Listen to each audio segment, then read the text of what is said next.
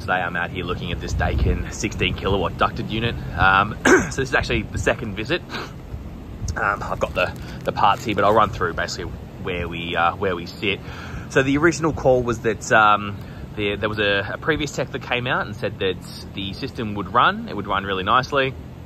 And then over after about 10 minutes, the compressor would just slowly start ramping down. Now, they didn't have access to the, the, the Bluetooth service kit. Um, so then I came out here, plugged it in, noted that it was doing the same thing. It was basically ramping all the way down. Now the suction line was reading about 45 degrees. So that's what these are, the thermistors. I'll, I'll run through in the video how I basically, you know, outside of obviously seeing the temp reading 45 degrees, there are other things I do just to confirm that it is actually reading incorrectly.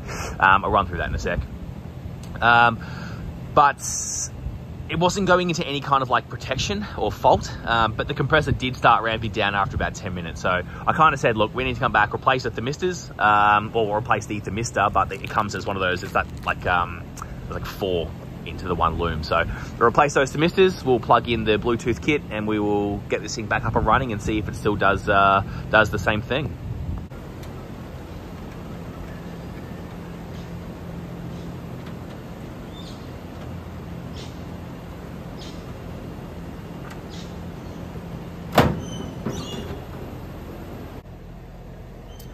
So this is our bank of looms here. Pull this out. I've got currently got power isolated, but if I uh, chuck this onto here, so the top one here is our discharge. So the next one down, uh, those two pins there, are going to be our suction line. So the first thing I did, actually, sorry, that's not true. The first thing I did was test the voltage coming back. So the board will output a 5 volts DC signal, go down, go through the resistor, come back as a different, like obviously as a signal there that the board would then interpret as a temperature. So the first thing I did, um, and I'll show you once I turn power back on, was basically test that voltage. Sorry, excuse me. Anyway, the uh, what you can do here is all I'm doing is testing the resistance across the, the, the resistor there. Oh. Where are we? So,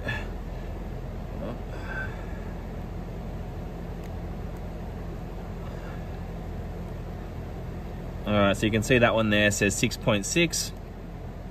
All right, so these ones here are all gonna read, well, they all should read the same at ambient temp. Now I only just isolated the unit, so it's probably gonna be a bit, uh, a bit different, but it's gonna be a bit higher, all right? So you can see that one there says 27, 27 or 28 k ohms.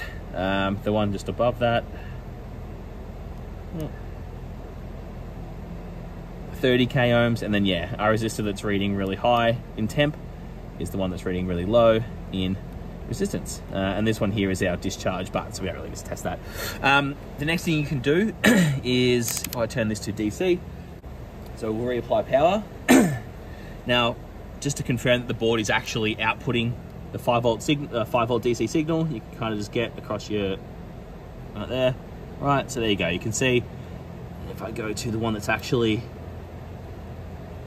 there, see, board's outputting the 5 volt DC signal, all right? So then to confirm, plug that back in, and then go across here. And that's the signal our, our resistor is sending back to the board, which is why it's reading so high, right? So again, the other one's here. 2.3 volts. 2.4, and then our faulty one, again, is millivolts. So confirmed 100% that resistor is cooked, which is why we had to replace it.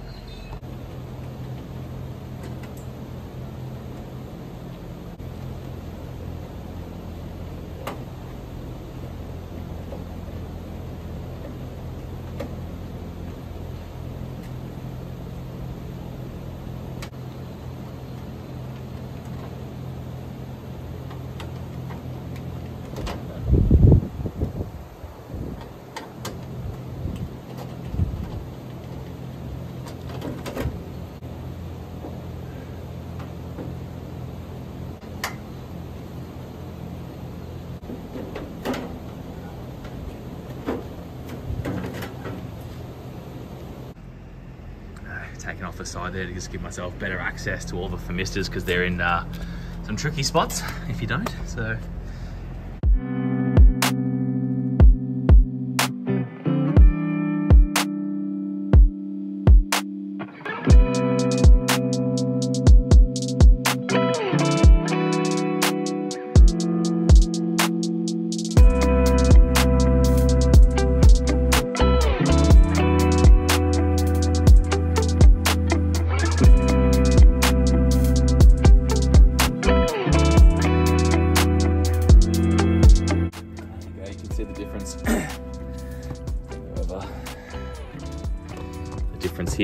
Oops.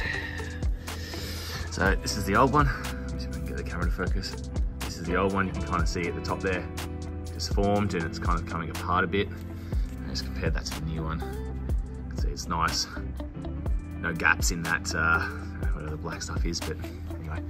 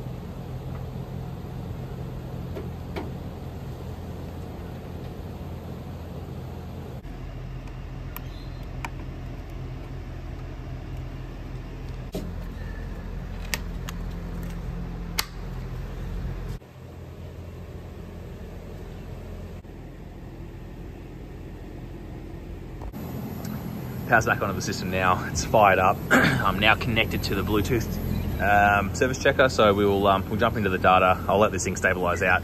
We'll um, jump into the data, um, have a look at that suction um, suction temp, and see if this thing starts ramping down after 10 minutes.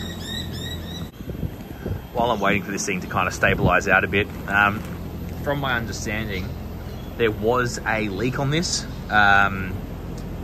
And that has been repaired and fully charged to the correct um, uh, base charge with the, with the additional, uh, which you can kind of see. This is exactly what I think has taken out the uh, the suction thermistor there. Look at that. Look how discolored it is. Hey, and you can kind of see now what I'm. doing. hold on.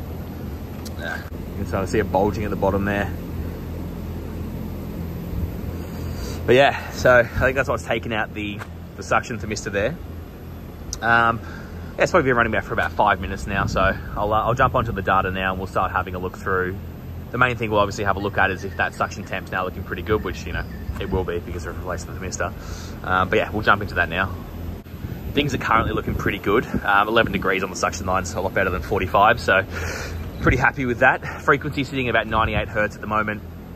Um, I think the syncing that's about 170. I'll have to double check that. But I'm going to monitor this for the next little while um, just kind of see if anything starts, you know, standing out. Unit's been running for about 25 to 30 minutes now. Um, suction temp's looking really good, it's about 10 degrees. Space temp's gone up about two degrees. Um, and the, the compressor's sitting at about 174 hertz, which is its max. So um, I'm going to monitor it again for another, you know, 15, 20 just to really confirm. But seems like the major issue here is that suction thermistor. So it's a pretty cruisy one. There you go, just ramp down then. Um, yeah, main issue here is that suction thermistor. So, so compressor ramp down because that space temp uh, is getting closer to set point. So unit doesn't need to work as hard. There you go, just ramp down again. Um, yeah, we're within two degrees of set point now. So uh, yeah, that's, that's nothing to worry about. This unit also doesn't have a, an indoor suction thermistor, so the fact that it says minus 53 is not an issue all packed up here, man. This thing's working nicely now. So we're, we're at about uh, just under a degree from, um, sorry, just over a degree from set point. So pretty happy. Thanks for watching.